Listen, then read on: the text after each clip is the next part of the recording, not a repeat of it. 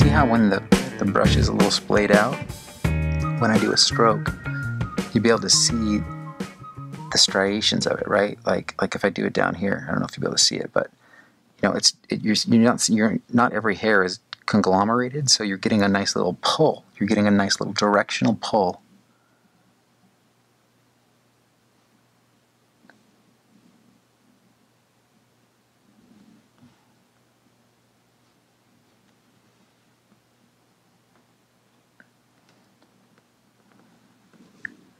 And that's looking pretty good.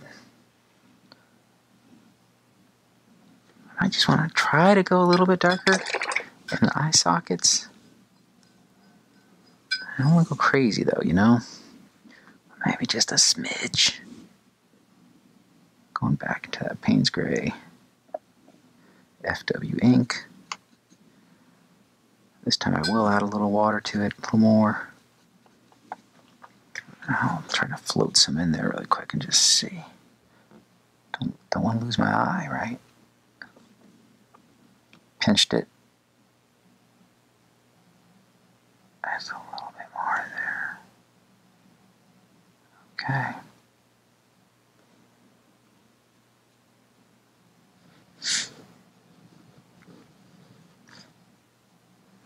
Do we have a spider creeping in on the image? Do you think he'll come all the way down? What are you doing, spider? He's into my brushwork, apparently. I like the tangled web you're creating, Scott.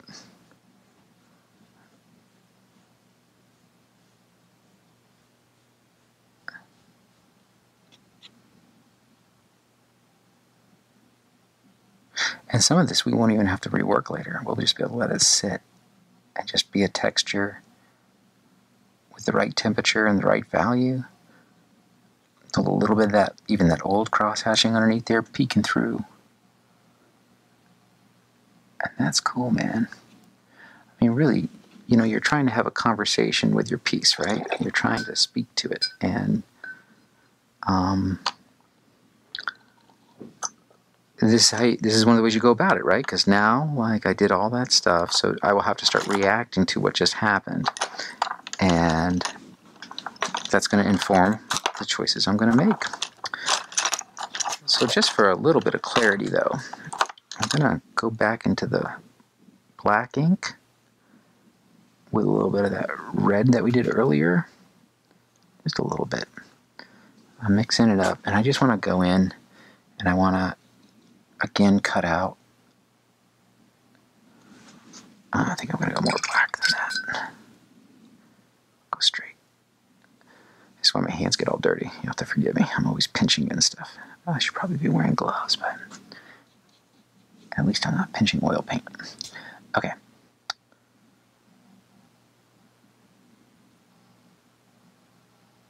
And as I had mentioned to you guys, once you get that first coat of acrylic ink down on your piece, every every every other coat is going to want to stick a little bit better. So I can just go back in and re get some of this goodness.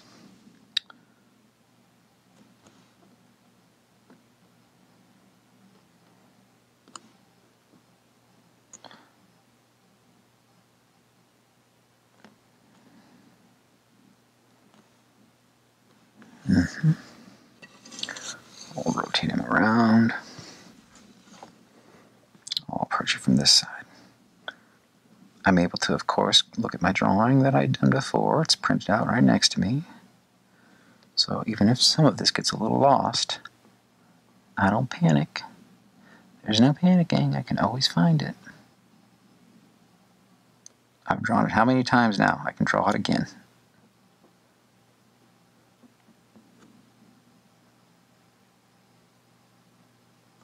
Cool. Okay.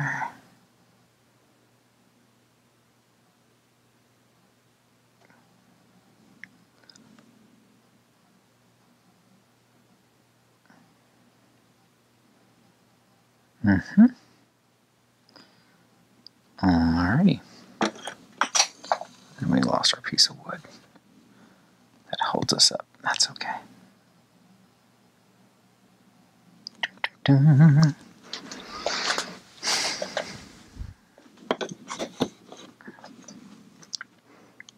right, I'm pinching some of that black off of this.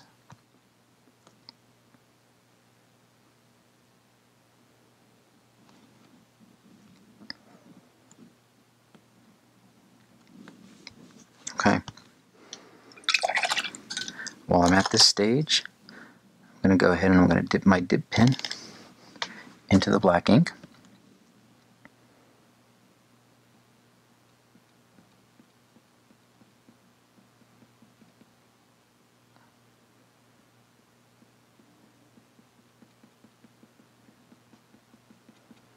Just like that, we get a little bit of that stubble on the side of the head there.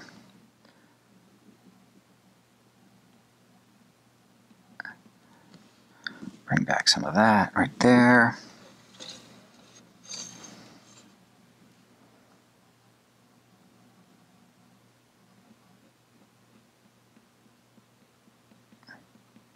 And you'd think that, oh my god, he's using the metal nib on this thing again. It's going to go right back down to the metal. But nope. Mean, if I really hammered it, yeah, every once in a while you'll do a little thing and it'll scratch all the way through the paint. But generally, I have a pretty light touch. It's, it's almost like the more you paint, you become like a surgeon. You're just really thinking about brush pressure, how much you can control it.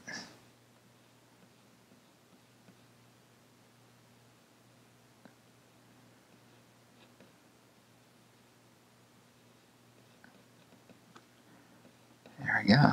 Bringing all that back.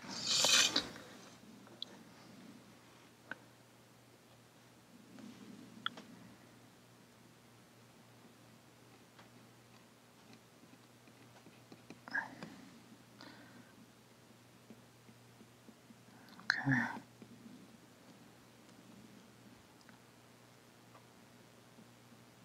Just a little bit. We'll just go ahead and just start getting into this eye a little bit. I can still see what I got under there.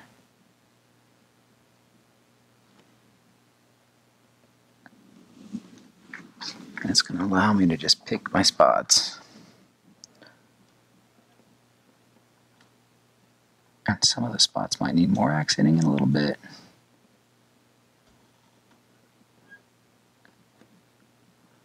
We're once again re-establishing that drawing.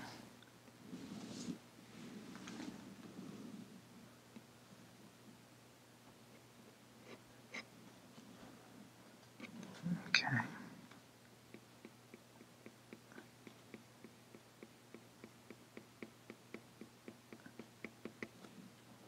It's going to be feel pretty familiar to guys. I've been here how many times doing this? And we're doing it again. Boom.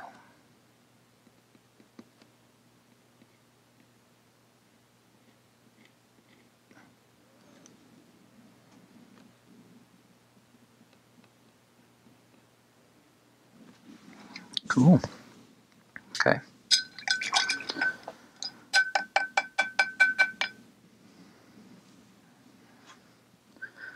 All right, so I'm going to start using some lighter values than the black. I mean, I was on black before, right? So I'm going back into some of those burnt umbers.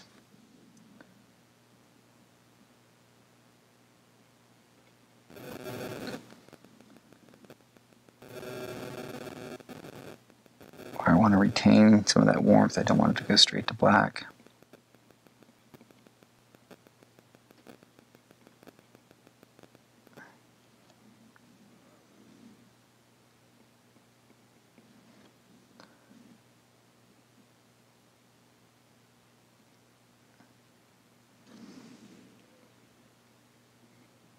Because now that everything has its base middle value, I can react, just like we were talking about earlier and decide, okay, I just need to push this this dark. I just need to do this here.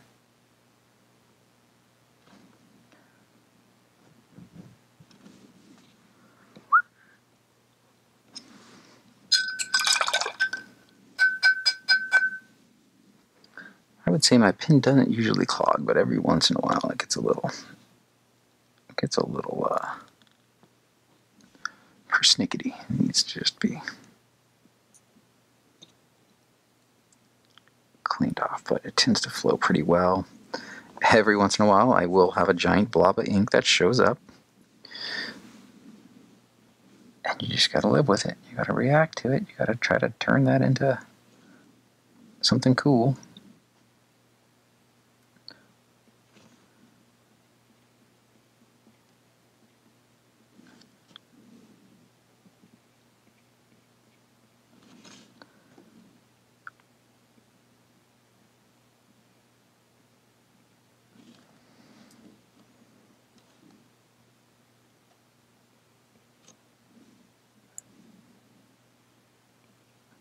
It's almost like I'm re-establishing my drawing for the third or fourth time.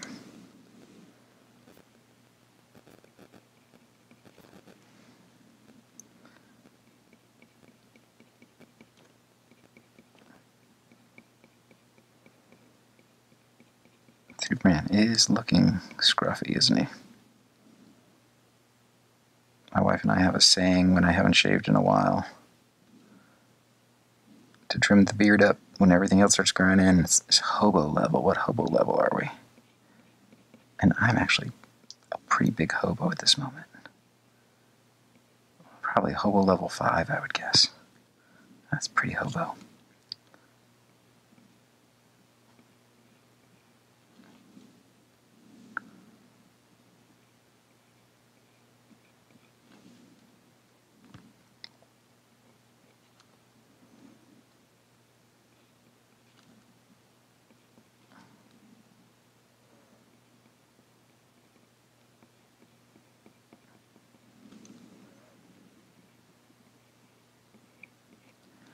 I'm constantly kind of darting my eyes back over to the drawing that I had done.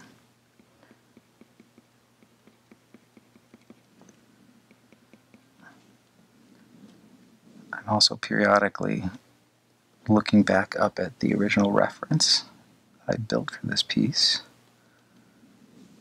the photo reference. And I actually look at that at this stage, I look at that less than the other piece because I'm really trying to make my judgment calls. Um,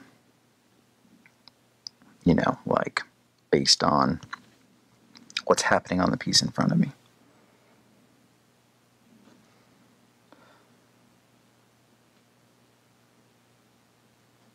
And every once in a while, I'll get sick of using the pen and I'll have to switch back to a brush.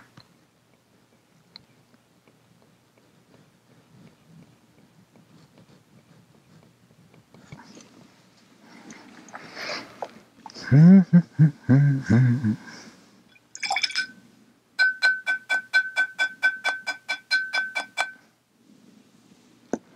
really want to get those eyes back though. So let me uh, let's see what we can do about that.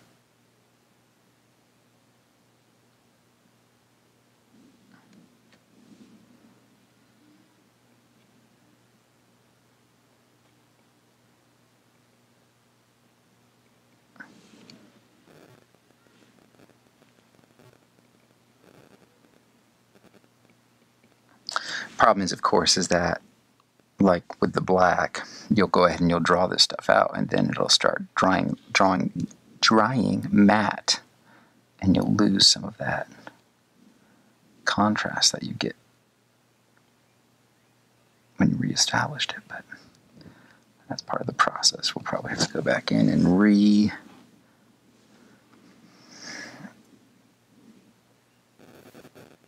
I'll redo a few things. Mm-hmm. I'll re-put the gloss varnish on areas of it so that we can judge it correctly.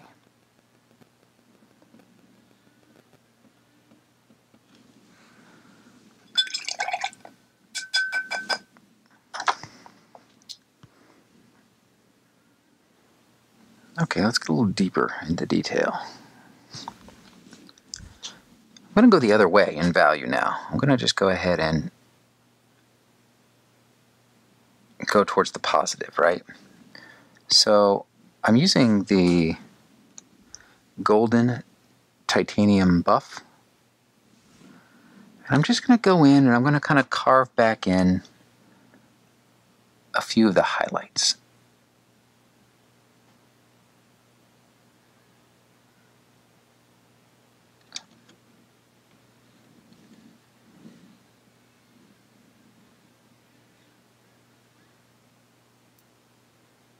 And it's going on kind of translucently, which is what I want.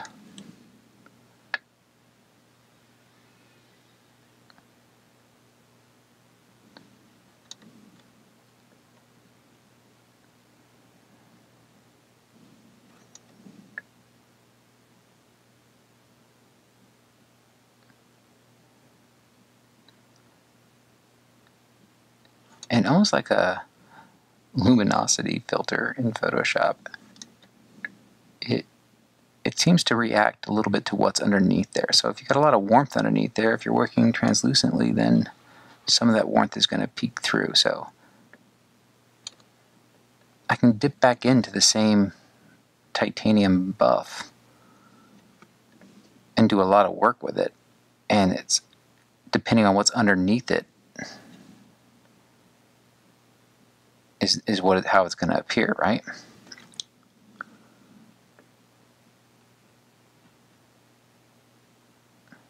Scrub it in there a little bit. Go right over that texture. we can mix it with color too. So I'm back into my slurry. I just took a little bit of that titanium buff into the slurry.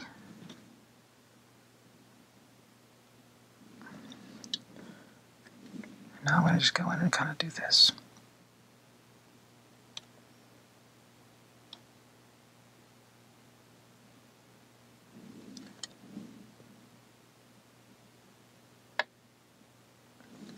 It's usually going to dry a little bit darker and it initially goes down.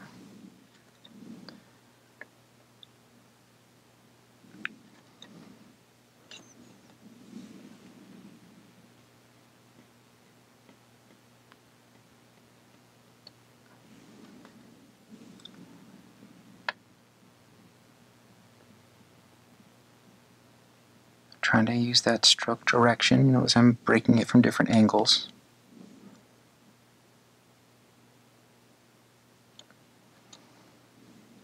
All in an attempt to build volume.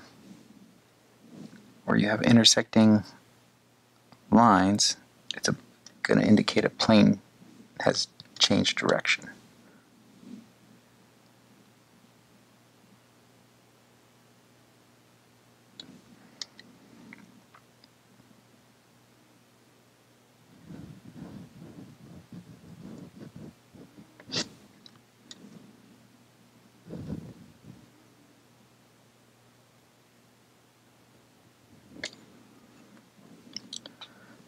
Squinting at the piece, I'm seeing how these values are acting in relation to my reference that I've drawn and that I've printed out.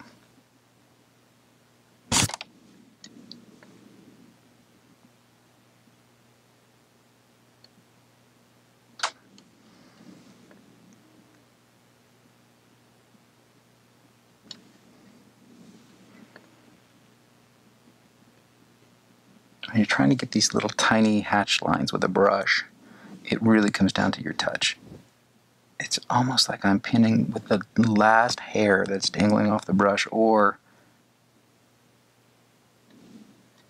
or you know like almost the paint that's hanging off the bottom of the brush like not even touching it with the bristles sometimes.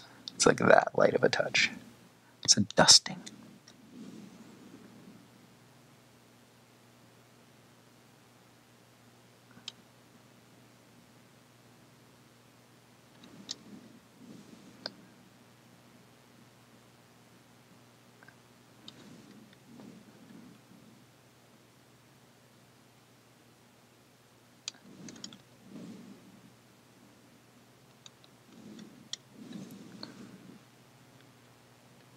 But because I laid down that gradient to begin with, me making these moves within that gradient, the gradient's doing most of the work, I guess is what I'm saying. I mean, you've seen me. I've moved all over this piece with pretty much the same value, right? I mixed up that paint, and now I've been hitting it everywhere. And depending on what's underneath it is how it reacts.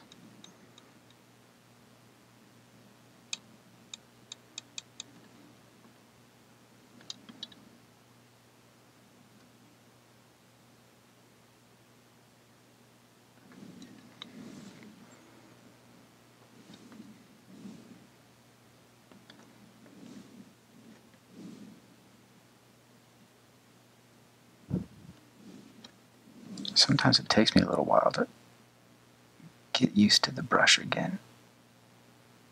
But once I get it, I can get pretty fine with it if I want to. You know, if you're used to pressing down with the dip pen, moving the brush, moving to a brush could be a bit of a transition, but you'll get it fast enough.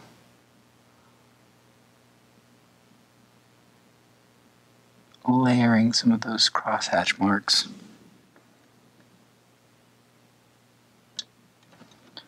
I just pinched the brush so now there's less paint on it. And I can just feather that out into that direction there, rounding that cheek back.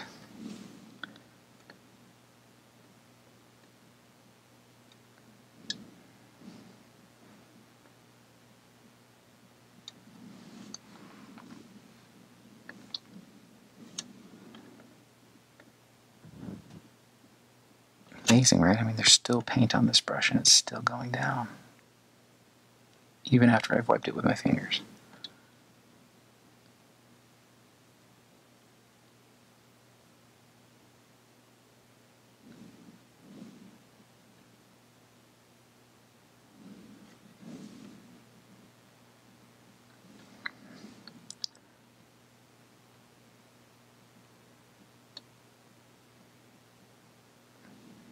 There we go. A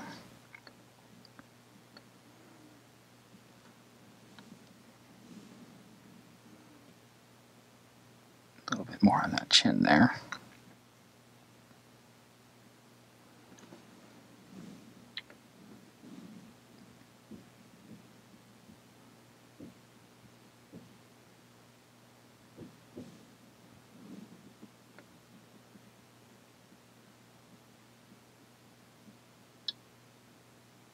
We'll build it just a little bit more there.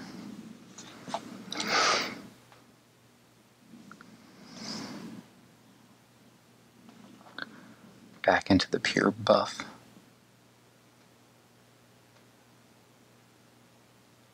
I'm staying in the buff titanium though for now because,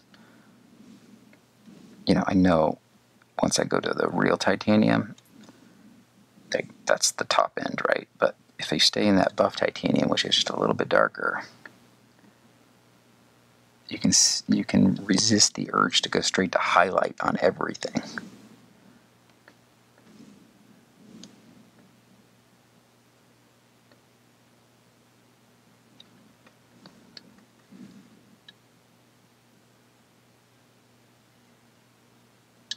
Okay, so what I'm going to do now is I'm going to actually go into a little bit of a blue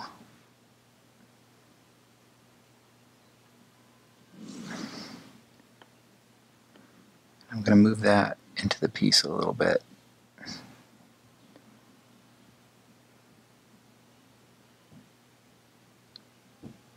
As a way of, it's kind of a gray actually, but as a way of like still rendering up, but cooling off the temperature a little bit as I go back. Let's get a little darker with that.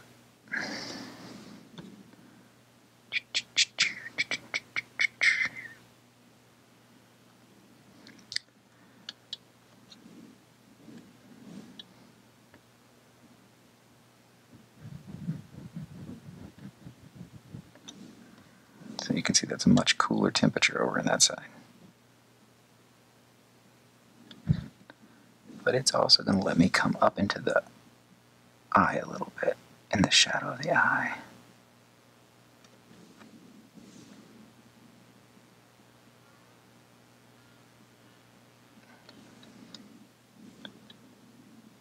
know if you guys can hear that, but my neighbor has decided that it'd be a great day to run some kind of high powered remote control car. It is riving in the background.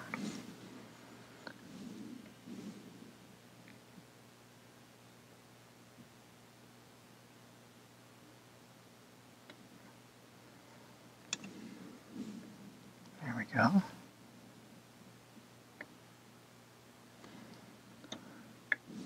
I can go ahead and bring some of this bluer color down into here. Can round out this little bit of it underneath the lip with it. And look how much work, again, how much work I'm able to do with just this one little cool value, right? I'm moving it all over the space. And it all comes down to that gradient underneath. That set the bar.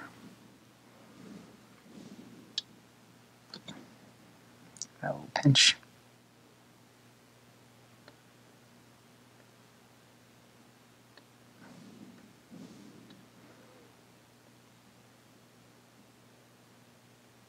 This brush I'm using, it's a Rosemary, I think a Rigger 273.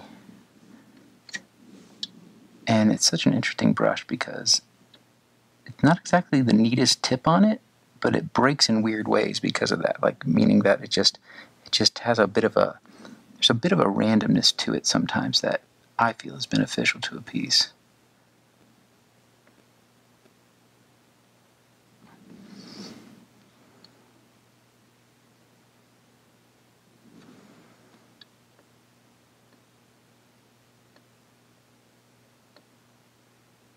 I'm just going to scumble some of this in there now.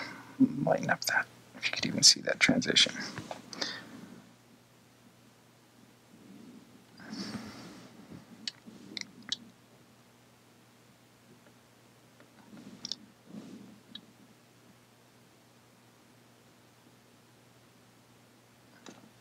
Okay.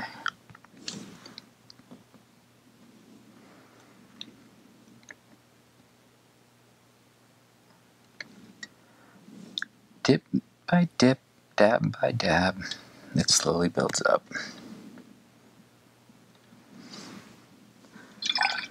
Let's go the other way now.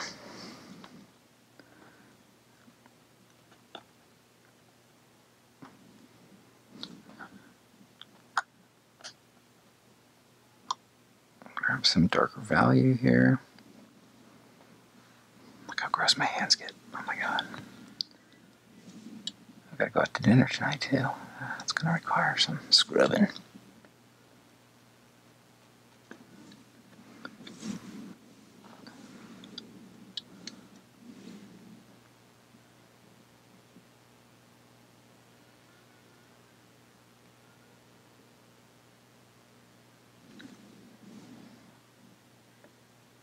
Pull it around that way. A little bit over there. This going on there like this. I'm just mixing up a dark value over here. I just needed it to be a little bit more fluid.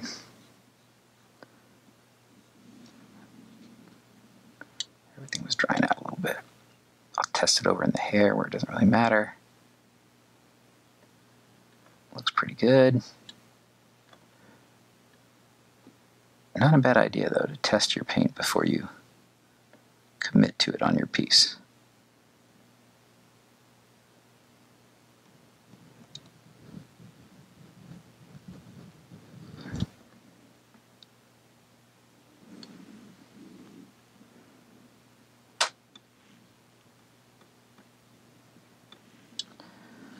Okay.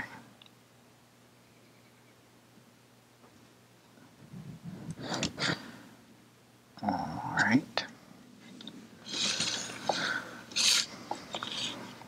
Let's see if I can just get a little bit more choppy with some of this mark making.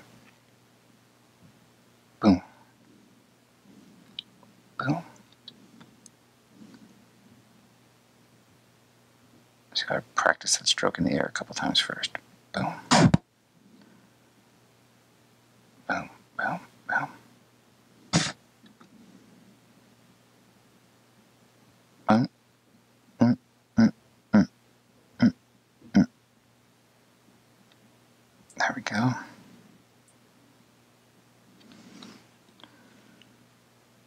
Hmm. Okay. Boop. Boop.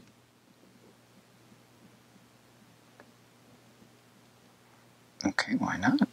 Let that there. Come back to the other side.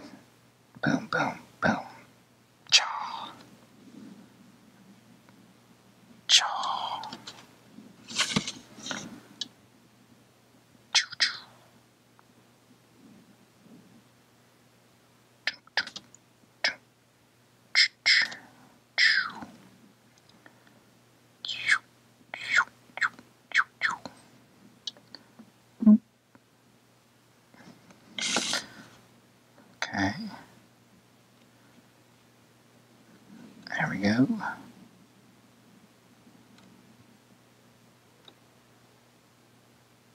There we go.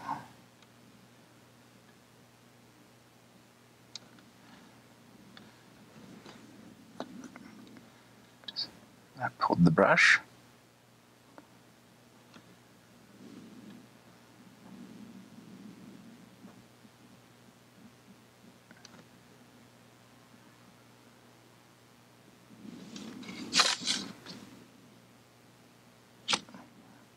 I pulled the brush again between my fingers, getting most of the paint off of it.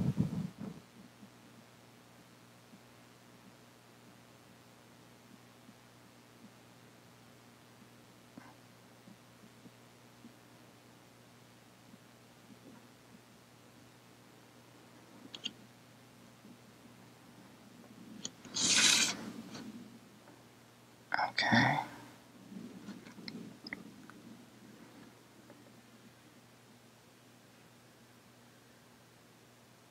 Rehatching down in some of these areas. It's just neat because the whole thing starts to get this sort of choppy vibe to it. I'm going to take some of that golden crimson.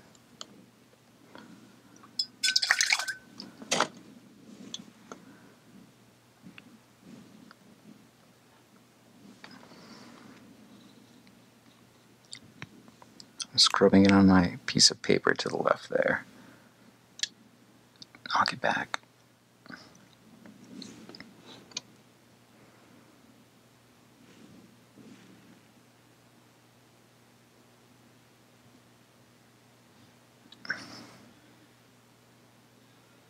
Yeah, we'll come down this way. Like that there. A little bit of red on those cheeks. Okay.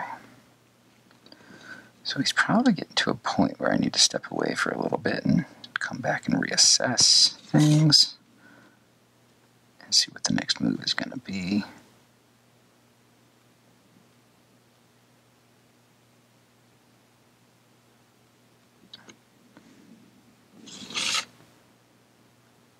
And usually, when I say that to myself, it's another 20 minutes before I actually do it. But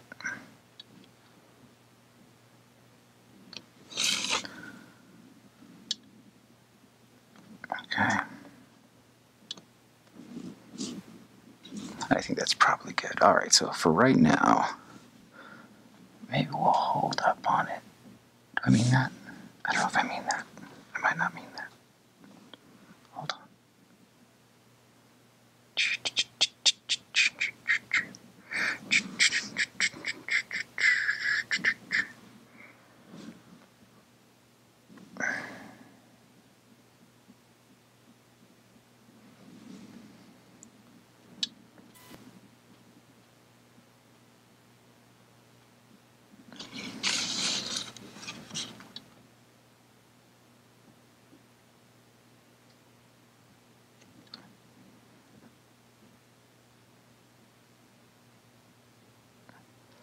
It's actually some pretty strong blue I'm throwing down on there.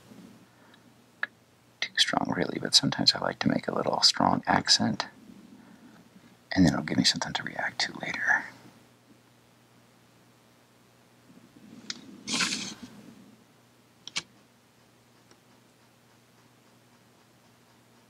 Swing it around the neck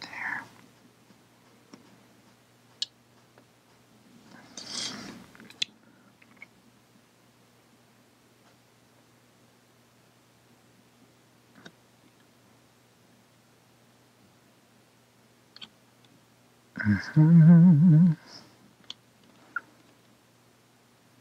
We go.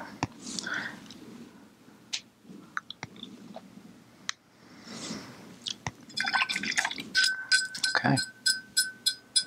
I think that's a good place to hold up and reevaluate and come back.